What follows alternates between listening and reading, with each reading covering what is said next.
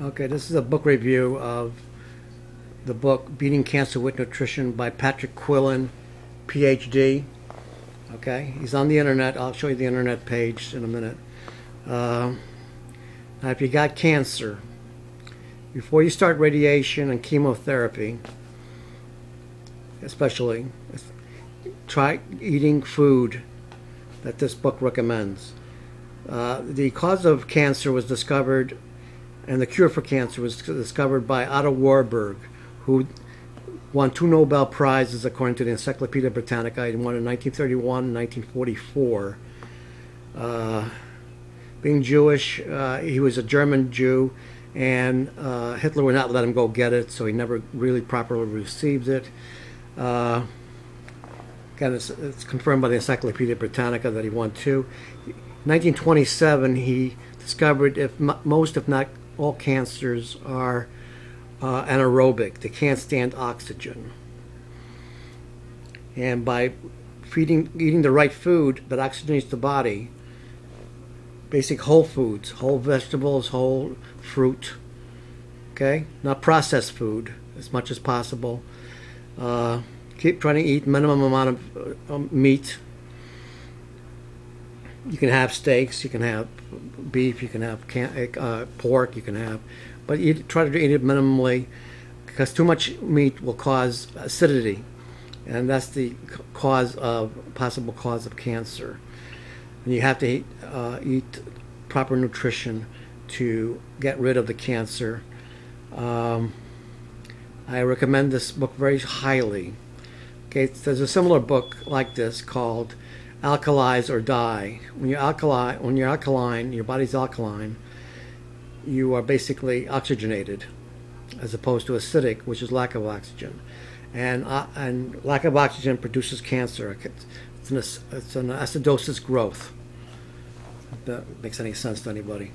Um, okay, it's based on the work of Otto Warburg, as I said before, in. Uh, 1966, Otto Warburg. It's on the internet, by the way. Otto Warburg, W A R W A R B A W A R B U R G, would lash out at, at a conference of Nobel Prize winners. He would lash out at the cancer industry. Basically, the cancer industry is not interested in a cure for cancer. Because if there's a cure for cancer, they don't make any money. Does that make any sense? So cancer, the Cancer Society is really a front for the pharmaceutical industry. The Heart, the Heart Association is a front for the pharmaceutical industry. The Diabetes Association is a front for the pharmaceutical industry. These are basically ways to raise money to, for cancer, diabetes research, heart research. They're not interested in cures per se. Okay, we'll get into an, another segment. We'll talk, cause, we'll, we'll, talk about the cure for heart disease. Okay, that's not that hard to. Uh, that's pretty easy, also. It turns out.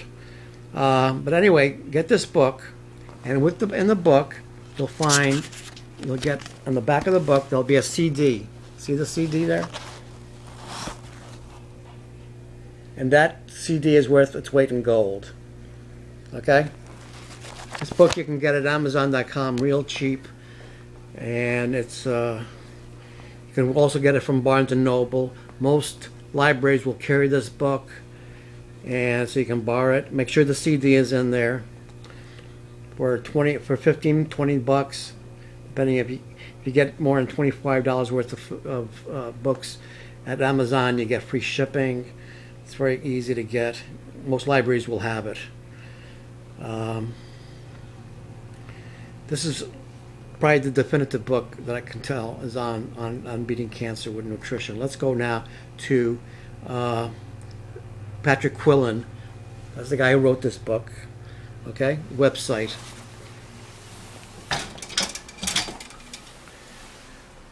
And it's right there, patrickquillin.com. You can hear him do talk on there.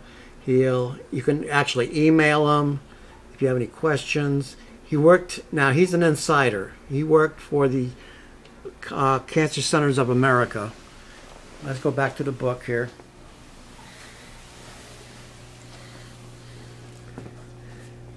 American Cancers of America.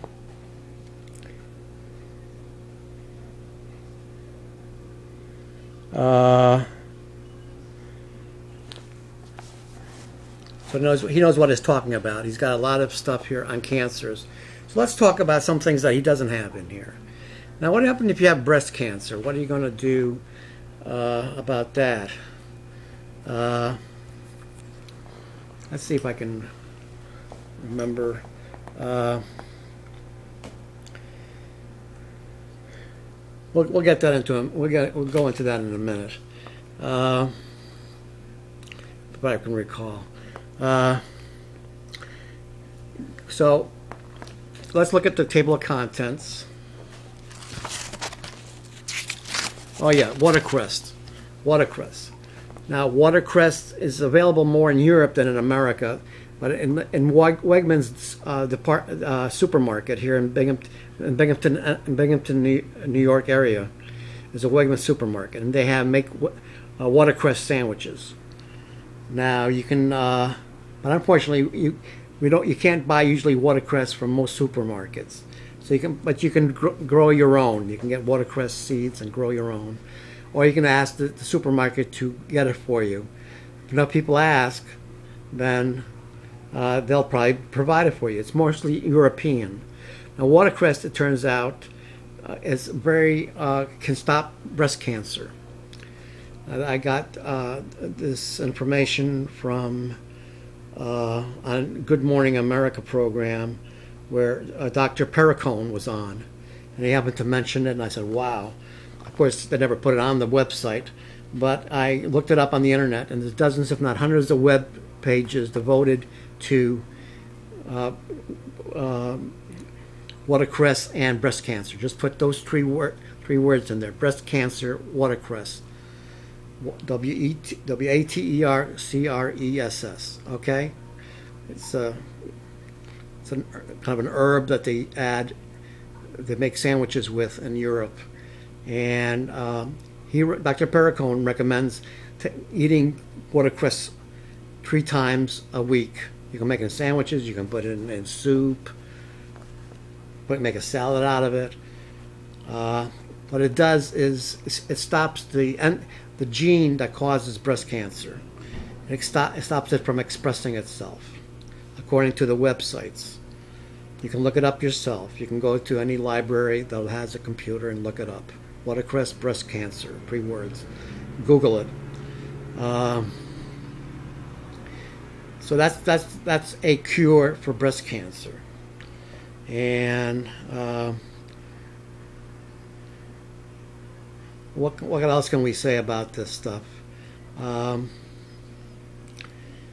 so you can look up uh, Otto Warburg, 1966 cancer conference, his speech on cancer.